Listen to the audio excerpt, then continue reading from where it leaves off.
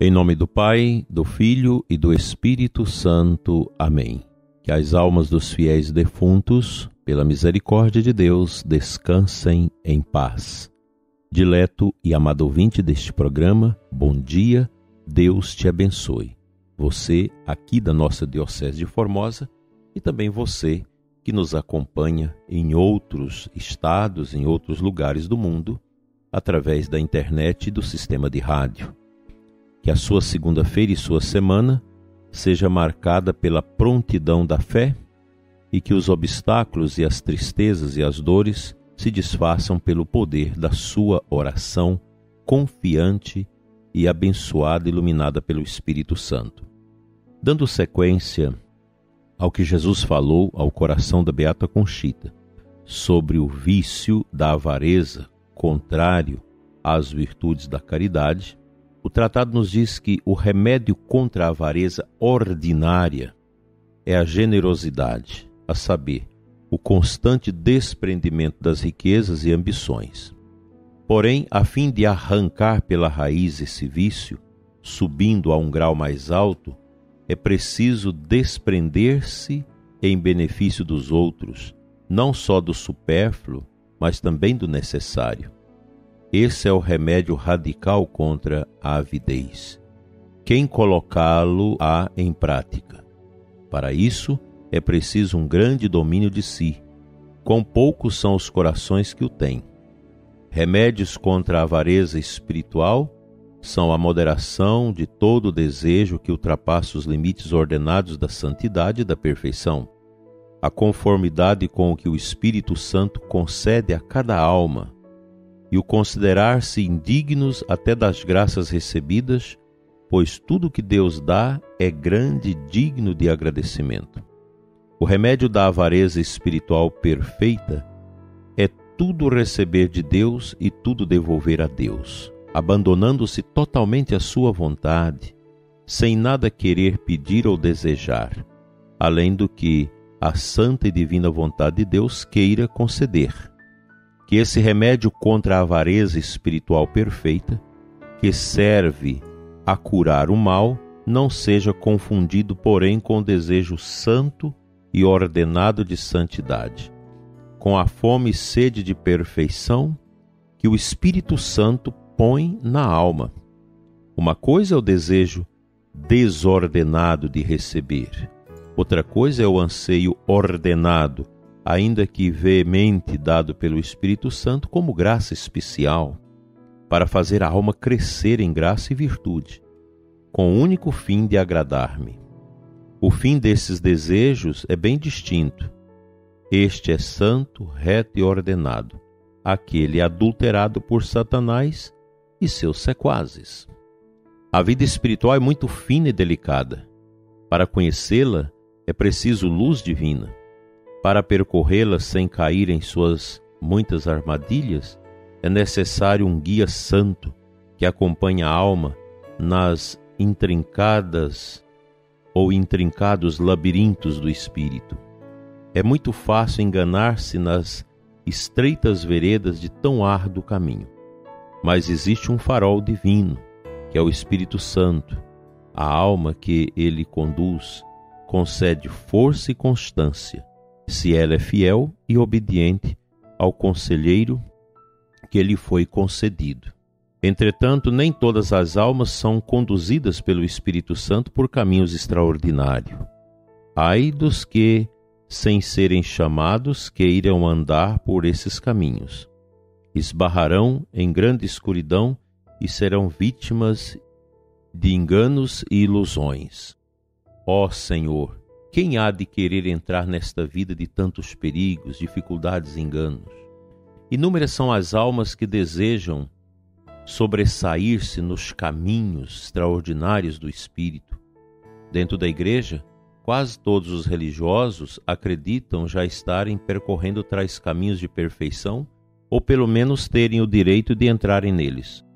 A alma soberba parecem a mesma coisa vestir um hábito religioso e entrar nos caminhos da perfeição, sem entender que a única porta que conduz a uma vida extraordinária de perfeição é a sólida, generosa e constante prática de todas as virtudes morais. E mesmo assim, há muitos santos aos quais, apesar de terem percorrido merecidamente o espinhoso campo das virtudes, eu nunca quis conceder o acesso à vida espiritual extraordinária. Há quem pense que a santidade consiste apenas de visões, êxtase e revelações. Lê do engano. A santidade consiste na pureza e no sacrifício generoso e constante de uma alma totalmente abandonada à vontade divina.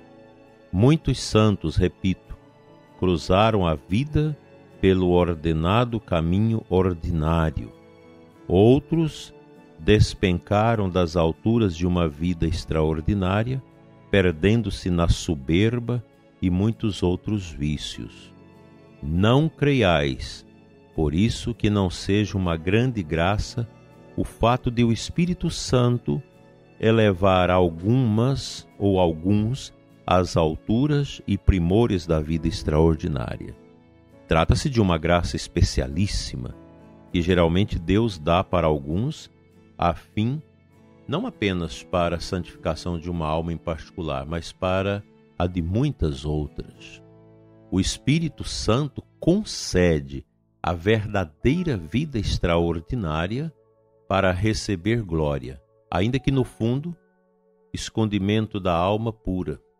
A vida extraordinária quase sempre está onde os homens menos supõem, isto é, na mais oculta humildade e no sacrifício de uma alma escondida. O Espírito Santo busca a escuridão para fazê-la resplandecer. Sabeis onde ele se encontra e faz sua morada? Na alma modesta que se esconde, core se envergonha dos favores divinos. A avareza carrega consigo um exercício de companheiros inseparáveis da sua mesma família. Então está aqui para nós a conclusão desta meditação sobre a avareza, o perigo da avareza ordinária, que é o apego aos bens, essa busca desenfreada pelo dinheiro, essa loucura para manter uma ambição cujo saco nunca enche.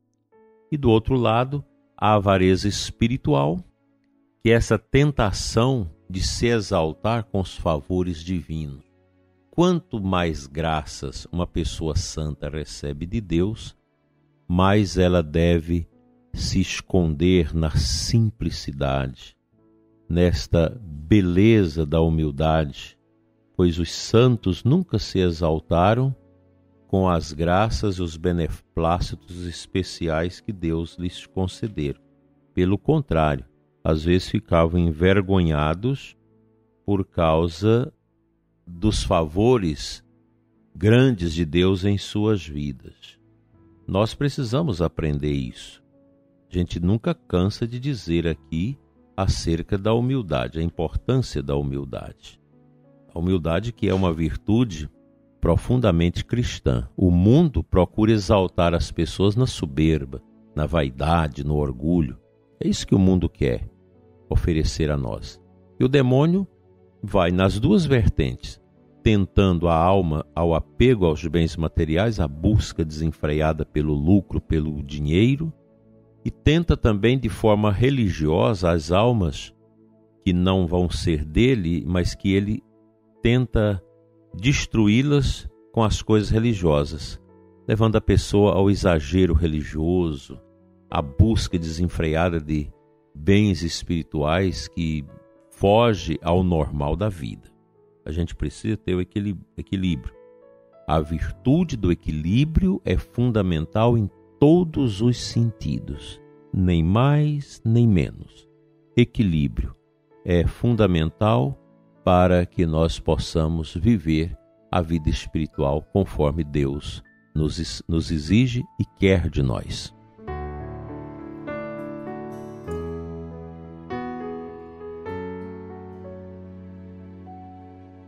O evangelho dessa segunda-feira, João 15,16, a aclamação, o versículo da aclamação, Jesus diz assim: Eu vos designei para que vades e deis fruto, e o vosso fruto permaneça, assim diz o Senhor.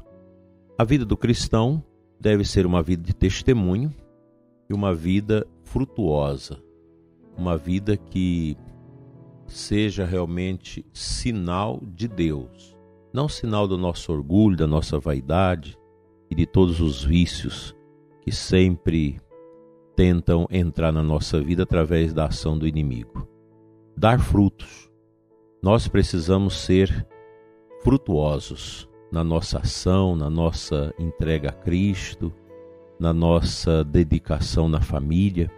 Como a família é importante, gente maravilhoso esse dom da família. A gente fica tão triste quando vê as pessoas se separando, os casais brigando, deixando o matrimônio, separando, as crianças, o sofrimento. Não faça isso. Tenha valores, busque os valores, busque a oração. Nenhum casal que entra em dificuldades, que buscar uma adoração juntos, rezar juntos, discernir juntos no espírito, vai se separar. A separação, ela entra nos corações que estão enfraquecidos. Faltou a oração, faltou o diálogo. Se o casal ora, se o casal comunga junto na missa, se tem aquele amor um pelo outro, cuidado, zelo. Mesmo que às vezes você tenha dificuldade com o estilo da pessoa com quem você casou, mas você precisa aprender precisa é, abrir o coração, tirar as, os fechamentos, os preconceitos, para aprender a conviver com a pessoa que Deus colocou do seu lado, que tem aspectos na sua vida, na sua prática que não te agrada. A cruz, ela está também no matrimônio. Os casais precisam carregar a sua cruz, sem nenhuma avareza, material, ordinária ou espiritual. Que Deus ajude você, prezado ouvinte, a viver a sua alegria de família. Mesmo você que é só, que está vivendo só, mas você tem uma família, você tem seus parentes que precisam de ti, precisam do seu exemplo e da sua oração intercessora.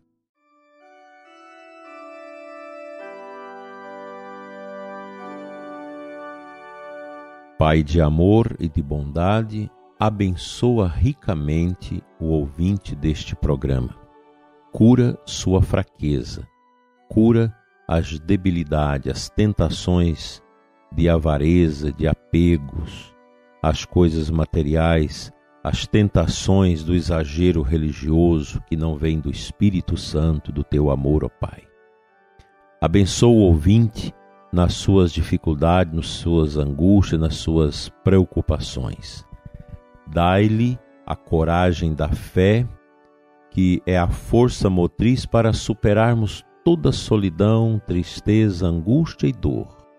Que o bom Deus entra no seu coração nesta manhã e fortaleça sua alma no caminho da santidade, de uma vida segundo a vontade do Espírito Santo e não segundo a sua vontade.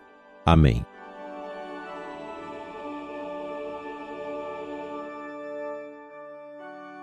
Pela intercessão da bem-aventurada Virgem Maria, venha sobre você e sua família, seus afazeres, a bênção de Deus Todo-Poderoso, Pai, Filho e Espírito Santo. Amém. Feliz e abençoada segunda-feira e até amanhã, se Deus nos permitir.